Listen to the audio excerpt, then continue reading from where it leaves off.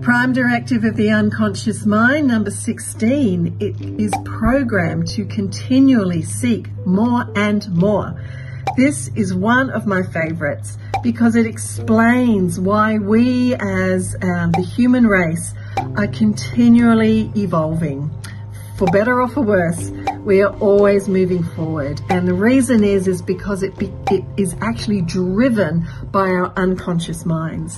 So I watched a documentary once about creativity and the, the um, presenter, he was walking around the woods and he was showing these squirrels and he was saying, you know, these squirrels, they've been doing the same thing as their ancestors 1,000 years ago did, right? They're building the same structures, the same homes, collecting their food in exactly the same way as they did 1,000 years ago.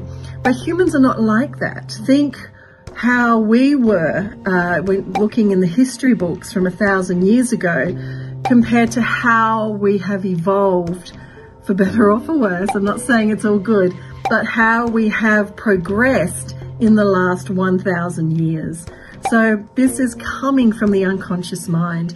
So again, when I'm working with clients, um, and I have clients, they say to me, I don't understand. Everything is so good in my life. I've got a good relationship, a good job, good money, good home. Why am I unhappy? And I can explain to them it's because they have stopped growing because the unconscious mind continually seeks more and more. It wants us to keep growing, learning, and evolving.